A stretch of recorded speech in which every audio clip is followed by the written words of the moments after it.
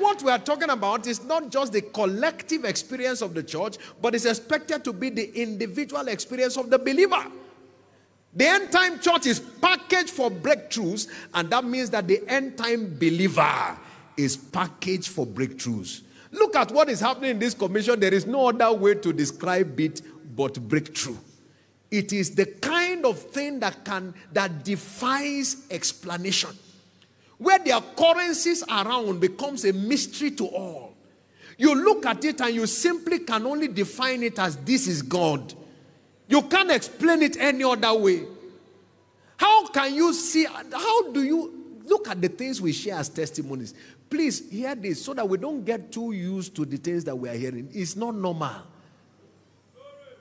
It is not normal at all.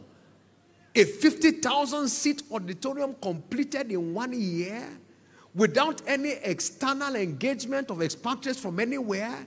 It is not normal at all. The church being filled over and over and over again, it is not normal at all. The church multiplying by two within seven weeks, it is completely abnormal. The church multiplying again within another seven weeks, it is completely abnormal.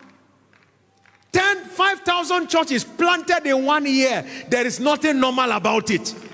10,000 churches planted another year, there is nothing normal about it.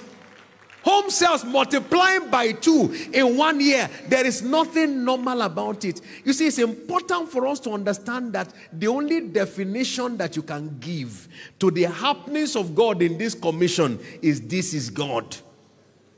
There is no human explanation. It cannot be orchestrated or organized.